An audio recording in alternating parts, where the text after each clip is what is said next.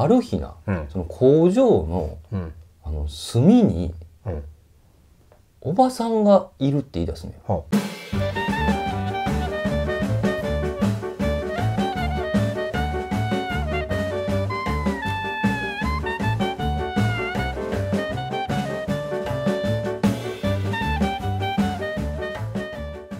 どうもオカルトコレクター田中俊之です。どうも元火葬場職員の下駄花尾です。あの徳島でねうん。あのまあ名前名前がないちょっと言われへんねうん。あの結構変わってるああああの名字で。うん。だからまあ A さんとするわ。うん。男性な、うん。俺と同い年やねんおうおうその子が教えてくれた話やねんけどおううん。A さんはうん工場で働いてるうん。でそこで副工場長をしてんねんな。おおすごいやん。でその工場も何を作ってるかはちょっと言われん。うん。で工場もまあ大きいんやろな、うで今多いやんかあの外国人の方がうんうんうん。働くの。ああそうやな。でベベトナム人の人らも多いやん。あめっちゃ増えたよな。うん。でベトナム人の人らもうん。働いてんねんて、うん。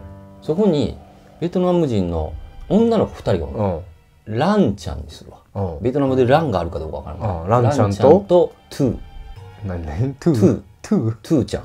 トゥーちゃんとおんの？ベトナムに？トゥーはおると思う。うん。まあランちゃんおらんかもしれんけど、うんまあ、ランちゃんとトゥーはおんねん。うん。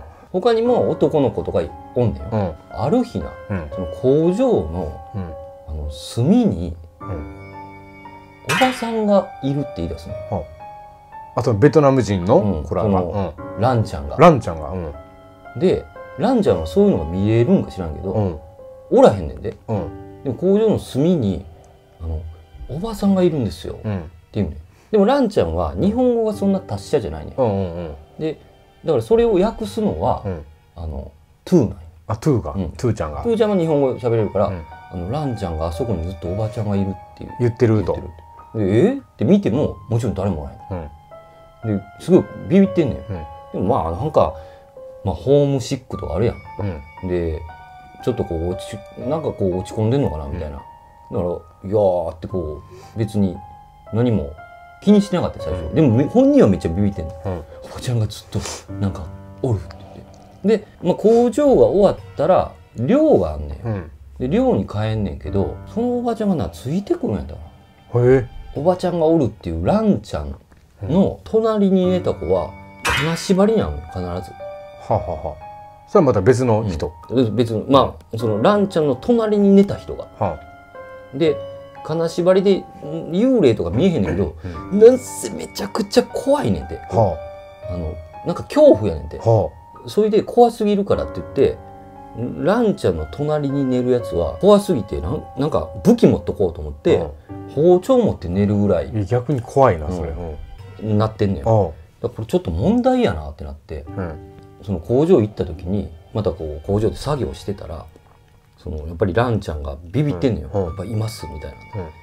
だからもうあのなんでおるかそれじゃ聞いてみてくれんって言った。のでじゃあ分かりましたって言ってそれはトゥーちゃんが訳してくれんね。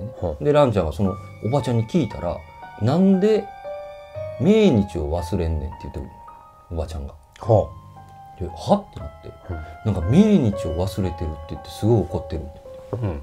そのえ命日？みたいな。でななんでここにいるんですかって言ったらそのランちゃんのことを気に入ったらしい。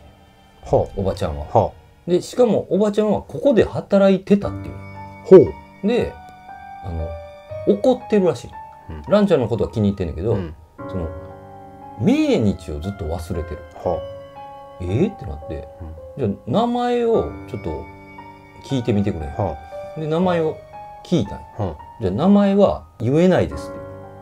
あも言いたくない。はでもなんで命日を忘れるあうん。ので命日って何なんて？知らんおばちゃんね。全然知らんわはで命日って何なんて？いつなんって聞いたら10月25日ですって。はで10月25日命日。あうんでここで死んでるってことって言ったらなんかここで死んだっていう。うん。えー、ってなって。でも見えへんねんで。うん。その A さんは。うんうんほらこれほんまかなと思いながら、まあ、工場でもちょっとみんなに知れ渡ったらみんな怖がるから、うん。あのまあ、うちうちで一回副社長とかにも聞いてみようかっていうことで副社長に聞いて、じゃあいや分からへんなみたいな。で社長もしかしたら詳しいから知ってんじゃんみたいな。